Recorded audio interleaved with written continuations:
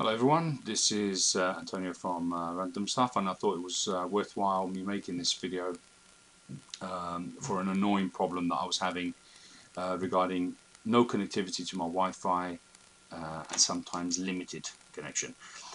I don't have the error message now because I fixed it but I wanted to make this video because I couldn't find any videos myself um, or quick solution and this way also for my own benefit, if I ever have this problem again and I forget, what I need to do is search in YouTube for the uh, error message, which is, as you can see here, uh, can't connect to this network, help solve connection problems, uh, forget the Wi-Fi bit. So the, the image, uh, uh, when you go into the Wi-Fi here, you have a little star to show that there is no connectivity. I've tried, I tried to reconnect the Wi-Fi, I tried to uh, um, uh, reset my uh, reboot my machine. I did the NA. Uh, I'll show you the. one second. I tried the net sh commands and uh, everything to no avail. Nothing was working. The only thing that worked was something very, very simple. Uh, I did that, uh, flushed the DNS, and immediately everything started working again. Resetting the router was uh, uh, pointless. Besides, connection was available on all the other devices in the house, including my phone, my other machines in um, in other rooms.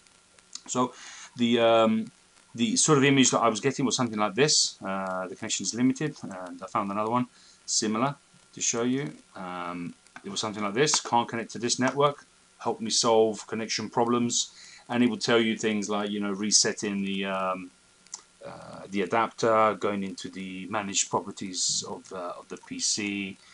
Uh, here, for example, uh, uh, the, device manager, uh, look for the network adapters, you know, take take them off, uninstall them, put them back on. Nothing helped. reboot, nothing helped. The only thing that helped for me and fixed it immediately was this. So you go into your Windows uh, uh, prompt for command prompt uh, in admin mode and all you do is you type um, IP config space forward slash flush DNS. Do that, it tells you in, in about one second or less than a second. It says done. You then do exit, and that's it. Job is done. Problem is solved. Thanks so much for watching, everyone. Till the next one, take care.